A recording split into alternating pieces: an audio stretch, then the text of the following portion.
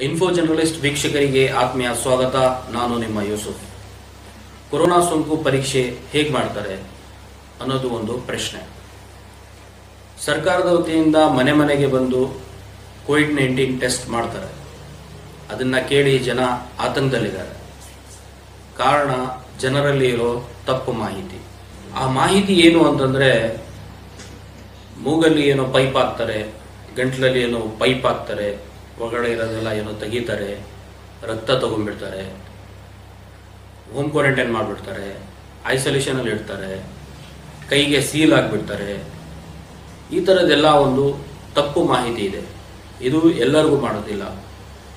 ಸರ್ಕಾರದ ವತಿಯಿಂದ ಎಲ್ಲ ಪತ್ರಕರ್ತರಿಗೂ ಕೋವಿಡ್ ನೈನ್ಟೀನ್ ಟೆಸ್ಟ್ ಮಾಡಿಸಿದ್ದಾರೆ. ಅದರಲ್ಲಿ ನನಗೂ ಆದಂತಹ ಕೆಲವು ಎಕ್ಸ್ಪೀರಿಯನ್ಸ್ ಈ ವಿಚಾರದಲ್ಲಿ ನಾನು ನಿಮ್ಮ ಜೊತೆ ಶೇರ್ ಮಾಡ್ತೀನಿ. ಈಗ ನಮ್ಮಲ್ಲಿ ಕೆಲವು ವಿಡಿಯೋಸ್ ಇದೆ. ಹೇಗೆ ಟೆಸ್ಟ್ ಮಾಡ್ತಾರೆ? ನಾವೇ ಶೂಟ್ ಮಾಡಿರೋ ಕೆಲವು ವಿಡಿಯೋಸ್ ಇದೆ. ಕೆಲವು ಬೇರೆ ವಿಡಿಯೋಸು ಇದೆ. ಹೇಗೆ ಟೆಸ್ಟ್ ಮಾಡ್ತಾರೆ ಅನ್ನೋದು ಅದನ್ನು ನಾವು ತೋರಿಸ್ತೀವಿ. ಒಂದೊಂದೇ ತೋರಿಸ್ತೀವಿ. ಇನ್ನೊಂದು ವಿಡಿಯೋ ಏನಿದೆ ಅಂತಂದರೆ, ನಮ್ಮ district hospital senior doctor Veerabhadraiah ಅವರು ಅವರು ಸಹ ನಿಮ್ಮ ಮುಂದೆ ಎಕ್ಸ್ಪ್ಲೈನ್ ಮಾಡ್ತಾರೆ. ಯಾವ ಥರ ಕೊರೋನಾ ಪರಿ- ಪರೀಕ್ಷೆ, ಯಾವ ಥರ ಅನ್ನೋದು. ಅದನ್ನು ನೀವು ನೋಡಿ, ಸಂಪೂರ್ಣ ಮಾಹಿತಿ ತಿಳಿಯಿರಿ.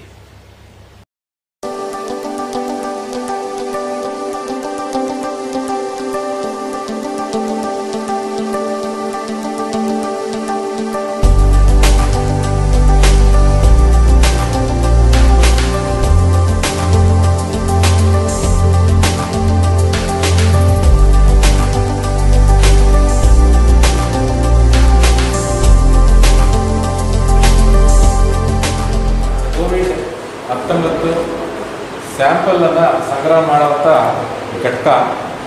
ಈ ಘಟಕದಲ್ಲಿ ಒಬ್ಬ ತರಬೇತಿ ಹೊಂದಿದ್ದ ಪ್ರಯೋಗಶಾಲಾ ತಂತ್ರಜ್ಞರು ಇರ್ತಾರೆ ಅವರು ಇಲ್ಲಿ ಬರ್ತಕ್ಕಂಥ ರೋಗಿಗಳಿಗೆ ಗಂಟಲ ಮತ್ತು ಮೂಗಿನ ಒಳಗಿನ ಸ್ರಾವವನ್ನು ತೆಗೆದು ಒಂದು ವಿ ಟಿ ಎಂ ಅಂತ ಇರ್ತದೆ, ಅದರಲ್ಲಿ ಸಂಗ್ರಹಿಸಿ ಪ್ರಯೋಗಶಾಲೆ ಕಳಿಸ್ತಾರೆ.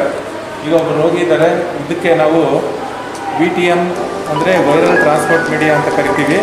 ಇದರಲ್ಲಿ ಒಂದು ಟ್ರಾನ್ಸ್ಪೋರ್ಟ್ ಮೀಡಿಯಾ ಇರ್ತದೆ, ಅದೊಂದು ಔಷಧಿ. ಅದರಲ್ಲಿ ವೈರಸ್ಸು ಬೆಳವಣಿಗೆ ಆಗ್ತದೆ. ಅದು ಅದರೊಳಗೆ ಸಾಯೋದಿಲ್ಲ. ಅದರಲ್ಲಿ ಬೆಳವಣಿಗೆ ಆಗ್ತದೆ. ಇದರಲ್ಲಿ ಎರಡು ರೀತಿಯ ಸ್ಲ್ಯಾಬ್ಗಳಿವೆ. ಇದನ್ನು ಒಂದು ಗಂಟಲಿನ ಸ್ರಾವವನ್ನು ತೆಗೆದುಕೊಳ್ತೀವಿ. ಇನ್ನೊಂದರಲ್ಲಿ ಮೂಗಿನ ಸ್ರಾವವನ್ನು ತಗೊಳ್ತೀವಿ ಎರಡು ತೆಗೆದುಕೊಂಡಂಥ ಸ್ರಾವವನ್ನು ಈ ಒಂದು ವೈರಲ್ ಟ್ರಾನ್ಸ್ಪೋರ್ಟ್ ಮೀಡಿಯಾ ಅಂತ ಏನಿದೆ, ಅದರೊಳಗೆ ಹಾಕ್ತೇವೆ. ಹಾಕಿ ಈ ಉದ್ದನೆ ಕಡ್ಡಿಯನ್ನು ಮುರಿತೇವೆ. ಆಗ ಅಲ್ಲಿ ಇಲ್ಲಿ ಒಂದು ಹತ್ತಿಯ ಭಾಗ ಇದೆ, ಅದರಲ್ಲಿ ಗಂಟಲ ಸ್ರಾವ ಇರ್ತದೆ.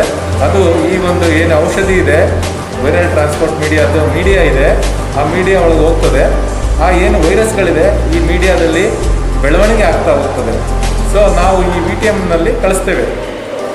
ರೋಗಿಗ ಒಂದು ಸ್ಯಾಂಪಲನ್ನು ತೆಗೆದು ಪರೀಕ್ಷಾ ಕೇಂದ್ರಕ್ಕೆ R T P C R test ಮಾಡಲಿಕ್ಕೆ ಕಳಿಸ್ತೇವೆ. ಈಗ ಇಲ್ಲೊಬ್ಬರು ರೋಗಿ ಇದ್ದಾರೆ. ನಮ್ಮ ಒಂದು ಕೋವಿಡ್ ಸ್ಯಾಂಪಲ್ ಕಲೆಕ್ಷನ್ನ ಒಂದು ಬೂತ್ ಹತ್ರ ಬಂದಿದ್ದಾರೆ. ಒಳಗಡೆ ನಮ್ಮ ಲ್ಯಾಬ್ ಟೆಕ್ನಿಷಿಯನ್ ಅವರು ಇದ್ದಾರೆ. ನೀವು ಯಾರು ಗಾಬರಿ ಆಗೋ ಅವಶ್ಯಕತೆ ಇಲ್ಲ. ಯಾಕೆಂದರೆ ಅವರು ಹೆಚ್ಚಿಂದ ಏನು ತೊಂದರೆ ಮಾಡೋದಿಲ್ಲ. ಇಲ್ಲೊಬ್ಬರು ರೋಗಿ ಇದ್ದಾರೆ. ಅವರು ಗಂಟಲನ್ನ ಆ ಬಾಯನ್ನು ಆ ಮಾಡ್ತಾರೆ.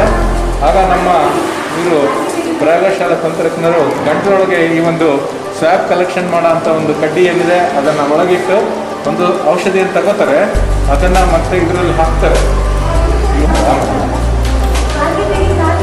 ನಾಲ್ಗೆ ವರ್ಗ ನಾಲ್ಗೆ ವರ್ಗ. ಇಷ್ಟು ಸಿಂಪಲ್ ಆಗಿ ಗಂಟಲೊಳಗೆ ಅದನ್ನು ಇಟ್ಟು ಅವರು ಗಂಟ್ಲಲ್ಲಿ ಇಟ್ಟು ಸ್ಯಾಂಪಲನ್ನು ತಕ್ಕೋತಾರೆ. ಅದು ರೋಗಿಗೆ ಯಾವುದೇ ನೋವೇನು ಆಗೋದಿಲ್ಲ ಅದನ್ನು ಸ್ವಲ್ಪ ಗಂಟ್ಲಲ್ಲಿ ಅಳ್ಳಾಡಿಸಿ ತಕ್ಕೋತಾರೆ ಸಾಕು ತಗೋತಾರೆ, ಅದನ್ನು ಈ ಒಂದು ವಿ ಟಿ ಎಂ ಒಳಗೆ ಹಾಕ್ತಾರೆ. ಅದು ಇಟ್ಕೊಂಡು ಇನ್ನೊಂದು ಮೂಗಿನ ಮೂಲಕ ತೆಗೆಯುವಂಥದ್ದು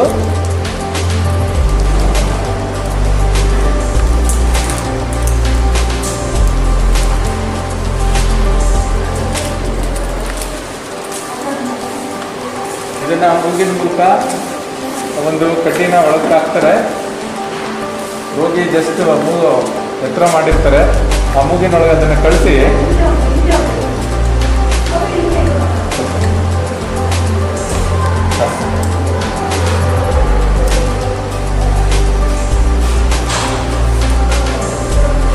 ಮೂಗಿನಿಂದ ಸಾಮಾನು ತೆಗಿತಿದ್ದಾರೆ.